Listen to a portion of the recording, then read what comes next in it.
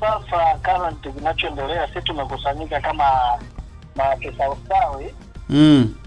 E, tuko hapo kwa ajili ya kutoa kitu kimoja kinaitwa PSS, yani psychosocial support, Sawa. yani msaada kwa ajili ya watu ndo haswa Mm. maafisa ustawi tupo kwa ajili ya hilo lengo. Kwa hiyo kinachoendelea currently saa hizi Mm. wote tumetoka tuko hapa uwanjani kwa sababu serikali kuu Mm. iko hapa, ndio maana umekuta tumejikita tu katika upande huo, lakini serikali kuu nzima hapa ipo na Mheshimiwa Bashungwa yuko hapa, Jenista Mwagama, Anton Mavunde, Dr. Moleli, Mm. waziri wa afya, wote wapo hapa. Mm.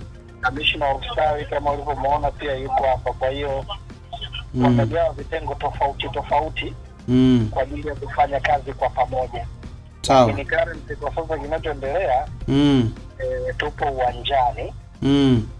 e, hapa mili ipo hapa uwanjani na mingine inaendelea kuletwa Mm. ambao ipo kabisa kwenye kwenye jeneza, sio kama tunaitambua, hapana, Mm. ipo kwenye jeneza mm. kwa ajili ya taratibu za e, mazishi.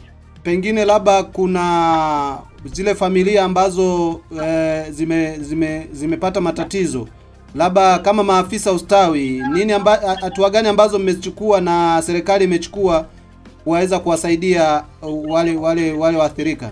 na familia zaidi ya sabini kwa hapa kata Shimbizi ambazo zinapata dharura, Mm. na tunamshukuru Mheshimiwa mkuu wa wilaya wa hapa Hanang' ameweza kutoa shule Mm. ya sekondari hapa Mm. imewapokea, lakini kuna misaada ambayo imetolewa kama magodoro Mm. ya awali ili waweze wamejihifadhi pale. Mm.